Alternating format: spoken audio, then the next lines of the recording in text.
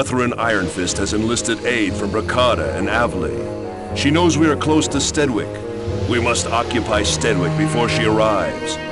Once we own Erathia's capital, not even Catherine Ironfist will wrench it from our hands.